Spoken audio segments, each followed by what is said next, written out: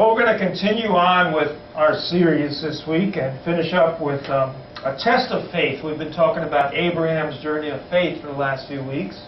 And today we're going to talk about the test of faith. So I'm going to begin with a story about a college student who uh, was applying to get into graduate school. And he was told he'd have to take the GRE, which is the Graduate Record Exam, and uh, it's a general test for entrance into graduate school.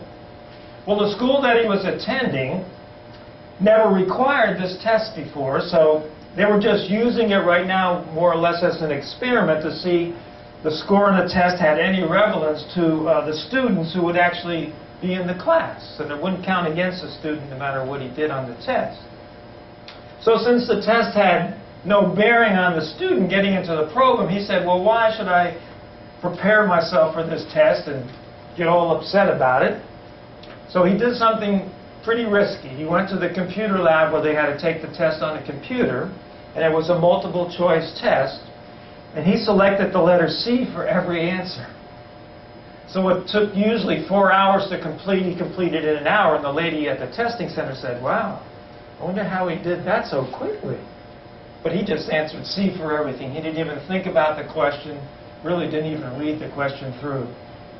But the biggest surprise is when he got his score, he received an average to above average mark on the test. So he didn't think through any of the questions, he just answered them with the same answer. So obviously there was something wrong with that testing system, to say the least. And it'd be nice if all our tests in life were the same way, right? We just give them the same answer and we come out ahead no matter what happens. But as you and I know that Life doesn't work out that way, and many of the tests that we go through in life are difficult, they're demanding, and they take an emotional or a spiritual toll on us at times. And we've been studying Abraham and learning what it means to be a person of true faith. But God tested Abraham's faith really in the most extreme way.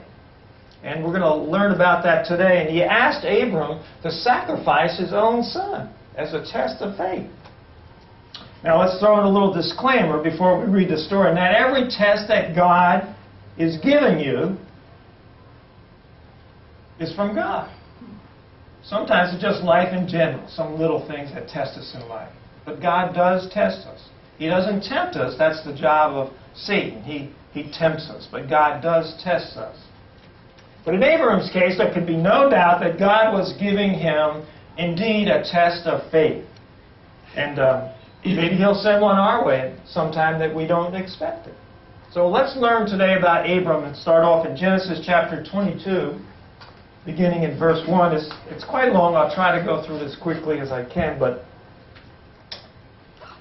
God called out to Abram. He said, Abraham, and Abram said, Yeah, here I am. He said, I want you to take your son, your only son, Isaac, whom you love so much, and go to the land of Moriah, and go there and sacrifice him as a burnt offering on one of the mountains which I will show you.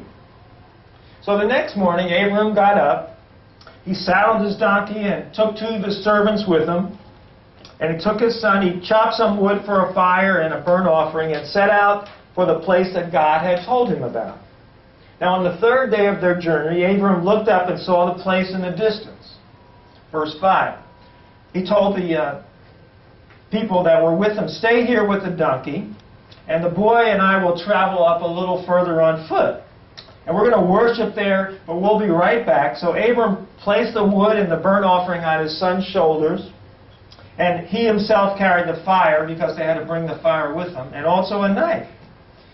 Now, verse 7 says, Isaac, the son, turned to his father and said, Dad, we have fire and wood, but where is the sheep for the burnt offering? Well, in verse 8, verse 8 Abram said, God will provide a sheep for the burnt offering, my son. And they both walked on together. Now, verse 9 says, When they arrived at the place where God had told them to go, Abram built an altar there, and he arranged the wood on it, and then he tied his son, Isaac, and laid him on the altar on top of the wood. Must have been a hard thing to do. And Abram picked up the knife to kill his son as a sacrifice before he was a burnt offering. And just as that happened, verse 11 says, An angel of the Lord called to him from heaven and said, Abram. And Abram said, Yes. Abram, the, the angel replied, Don't lay a hand on the boy.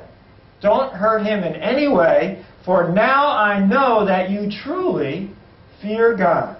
So Abram was here ready to sacrifice his only son in obedience to God's word. And God, seeing how obedient he was, and said, You have withheld nothing from me, even your son. Verse 13 says, Abram looked up and saw a ram caught by its horns in the thicket just shortly away from where they were. So he took the ram and sacrificed it as a burnt offering in place of his son. And Abraham named that place Yahweh Yireh, which means the Lord will provide. The Lord will provide. And to this day, it says, people still use that name as the proverb, on the mountain of the Lord it will be provided. Now, mountain in biblical terms actually means kingdom. So in the Lord's kingdom, things will be provided. And that's what this is all about. He had the faith that God wanted him to have and God tested him to see if he would sacrifice his son, who he loved so much. And Abram was willing to do that. But God stopped him ahead of time. He just was testing his faith. What would have happened if Abraham didn't have that faith? I don't know. So there's three questions we need to ask ourselves when, when the testing of our faith comes. Number one is, can we choose between two loves, like Abraham? That's the choice that God asked Abraham to make. And technically speaking, there was no choice, really just a command for Abram to sacrifice his son. So that's what God told him to do. But in obeying God, Abram was forced to choose then to kill his own child. So make no mistake, God knew that he, what he was asking for. He knew what he was asking Abram to do. And he goes out of his way to mention that he knows how much Abraham loves Isaac, because that's what it says in the Word.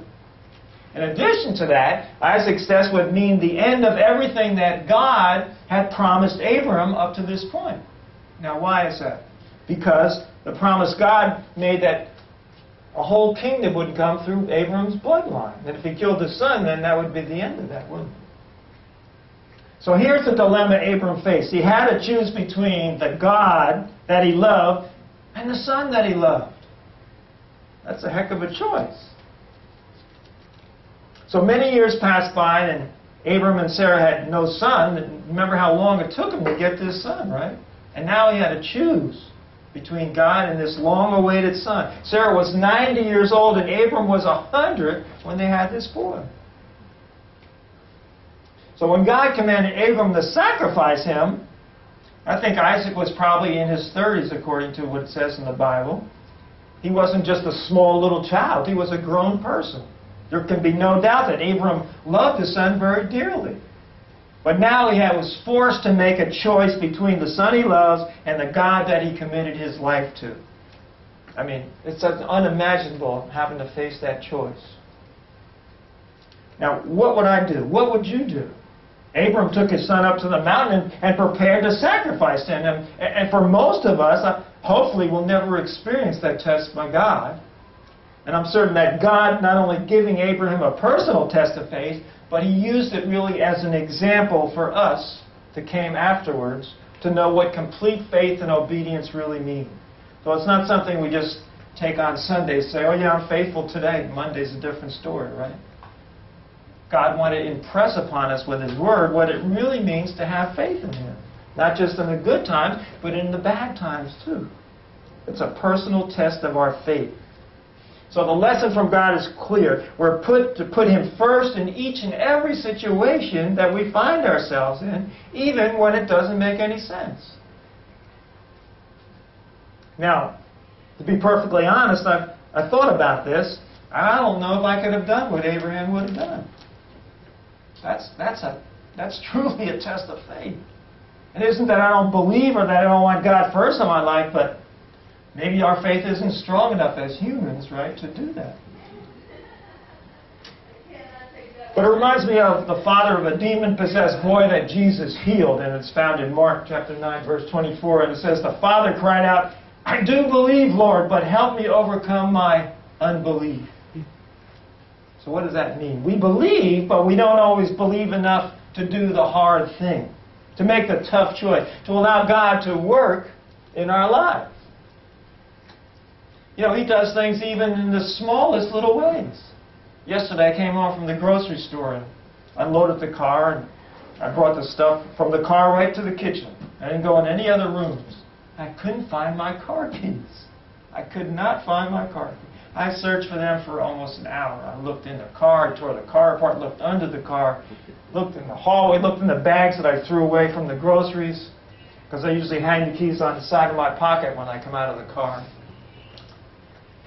And I, I just couldn't find them. So what I should have done in the first place, I finally did, and I said, Lord, help me. I need help. And I walked back in the house, and here are the car keys hanging on the back of my wife's sweater that was hanging on a chair that's in the hallway where her desk is. And I guess the keys caught on her sweater when I was walking. And there the keys were. And I passed that chair three or four times. I even pulled the chair out from the desk to see if the keys fell down on the seat of the chair, but did not see those keys. So God works in all kind of ways, and sometimes we need to rely on Him even for the smallest thing. Yeah. Even for the smallest thing. Anyway, somehow with God help, we need to say that God, we don't understand the test that you sent us through, but no matter what it is, we're going to do what you tell us to, just like Abram. Now, our second test of faith is can I obey even when it's difficult? That's sometimes hard to do, isn't it? Can we obey? Does anybody know anything about horses? Well, Arabian horses apparently go through some rigorous training in the deserts of the Middle East. And the, the trainer requires absolute obedience from these horses. And, the, and he tests them to see if they are completely trained. And it says the final test is almost beyond the endurance of any living thing. The trainer forces the horses to do without water for a lot of several days. Horses need water. And he said, then he turns them loose, and of course they start running towards where the water is. But just as they get to the edge, ready to plunge into the stream to get a drink of water, he blows his whistle and the horses stop because they're trained so completely. They stand there quivering, looking at that water that which they miss and they need. And they turn around and come running back to where the trainer is. They stand there quivering in perfect obedience. And when the trainer is sure that he has their obedience completely, he gives them the signal and they go tear into the thing and drink the water. Now that's some strict training. That's some strict training. It might be severe when you're on a in the desert, right? Without water, you need water. And your life is entrusted to a horse. The horse better be obedient, right? That's why they train these horses to be so obedient. You can't have those horses just do what they want to do and leave you flat in the desert. Because if they you got off the horse or something and they ran away, you'd be in big trouble. So when we read the story of Abram and God's command that he sacrificed his only son, it sounds unbelievable. It sounds cruel, doesn't it? It sounds cruel to us as humans. But watch this. I believe we need to remember that Abraham was named father of a nation. That's what Abraham was named. And the father of all who would come to Christ down through the ages. And he had been chosen by God to, to special place in the history of God's people. So God needed to make sure that he was a, truly a man of complete obedience, of complete faith, and would leave no doubt in, in Abraham's mind or God's that he could fulfill this huge monumental task that God has given him. And for most of us, prayerfully, this test won't be as severe as Abraham's, our test of faith. But God will send tests of faith into our lives. Yes, He will. And if the test had no level of difficulty, there wouldn't be any test at all, would it? There wouldn't be any test at all. What about when Jesus fed 5,000 people? What happened before that? In, in John uh, chapter 6, verse 5, it says, Jesus saw a huge crowd of people coming to look for him, and turning to Philip, he said, where, where can we buy bread to feed all these people? And he was really testing Philip when he said that, for he already knew what he was going to do. And Jesus knew he was going to make that bread appear and feed them. And James chapter 1, verse 2, it says, Dear brothers and sisters, when troubles come your way, consider it opportunity for great joy. Now that's a strange saying, isn't it? When a trouble comes your way, consider it an opportunity for great joy. It says, For you know that when your faith is tested, your endurance has a chance to grow.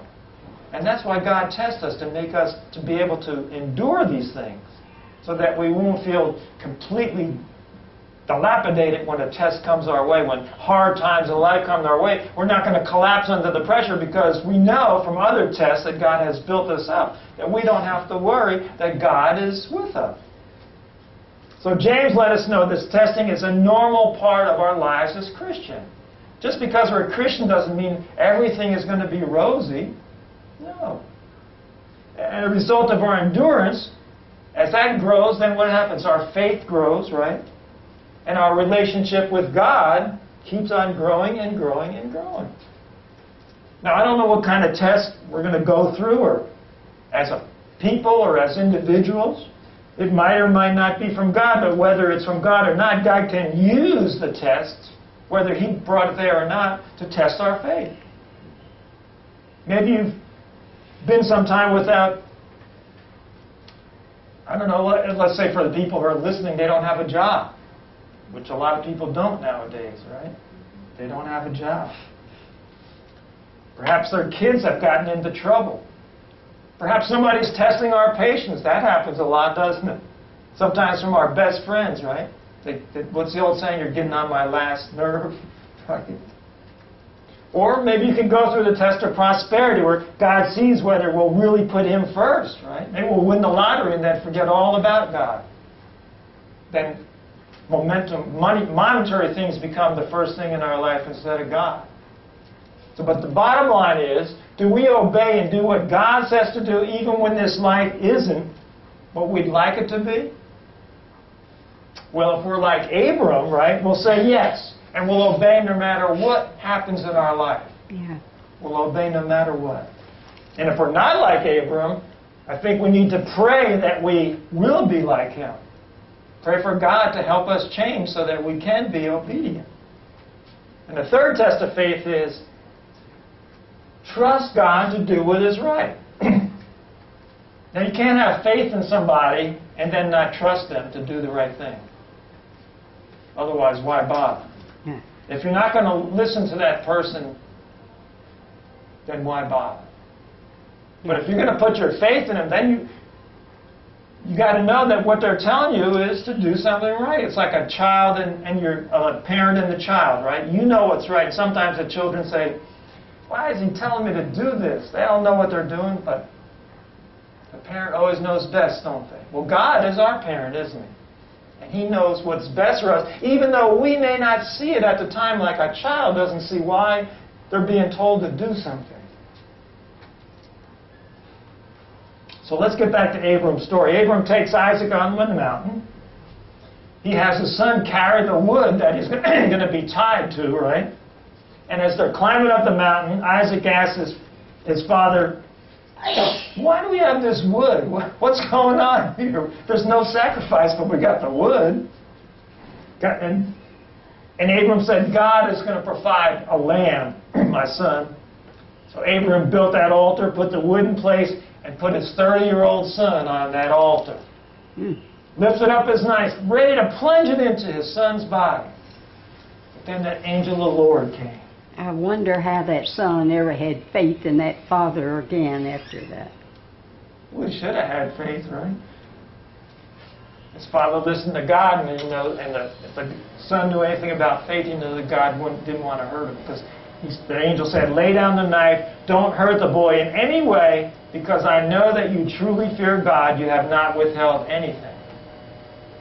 So the son should know that his father's faith is most faith anybody ever had.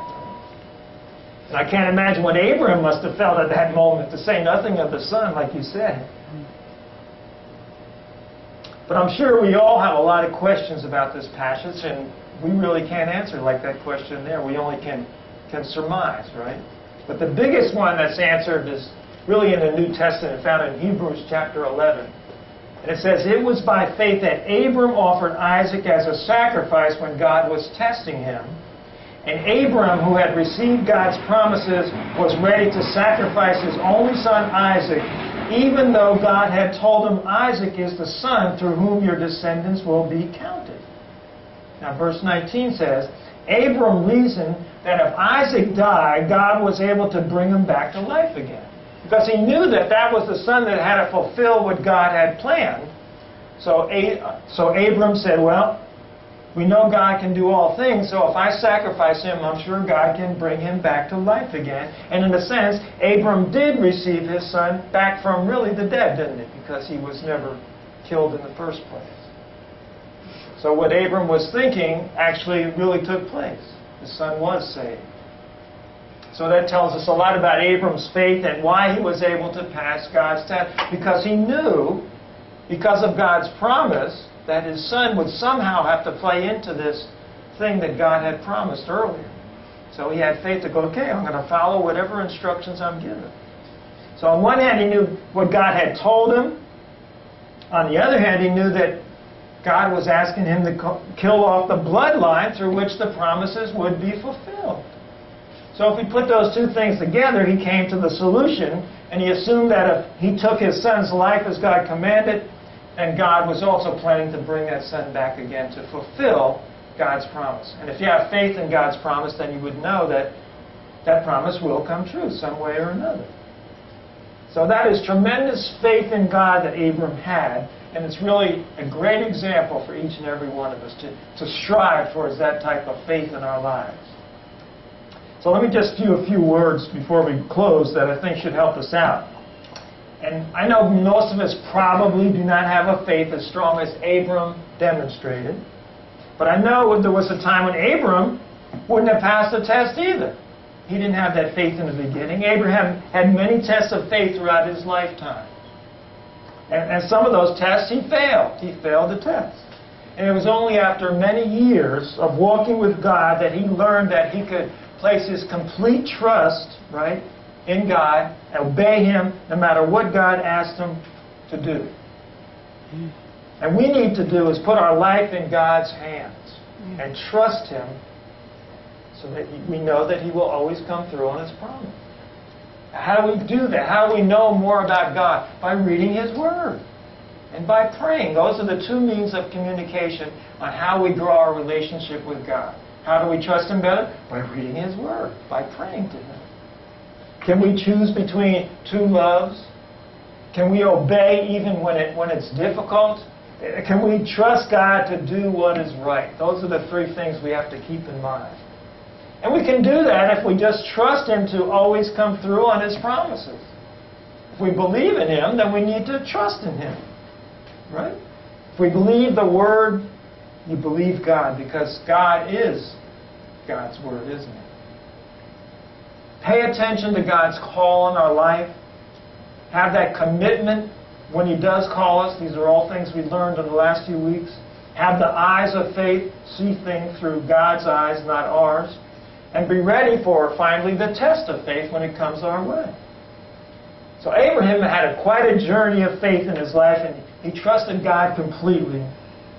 And the same thing is for us today as we pray. The road of our journey of faith is open right now. Let's pray. Father, we, we thank you, Lord, that you are a loving God. We thank you that we can trust you, Lord. Maybe some of us has, has started our journey and got off track. Maybe we've been choosing between two loves. Maybe we think it's too difficult to get on this journey. Maybe some of us didn't have faith to trust you completely. Well, we ask that you would help each and every one of us that has any one of those problems today, Lord. Whether we're here in this place or whether we're listening to this broadcast. That you will come into our lives. Help us to get started on our own journey of faith. Help us to choose when we have two things that we're choosing in life, two loves. Help us to know that this journey is not a difficult one because you're with us every step of the way. Help us to have that faith to trust you completely so that we can have a successful journey that you have already given us in advance. We thank you, Lord, for, for the journey. We thank you for giving us a purpose in life. And we know that you've equipped us to take this journey. You've equipped us with all the luggage we need to go on the journey, with all the items we need to keep us on the right track. Help us to focus on the righteous road so that we don't take the wrong turn. Keep us on the designated route, Lord, so that we can reach where you have wanted us to go. In Jesus' name we pray. Amen.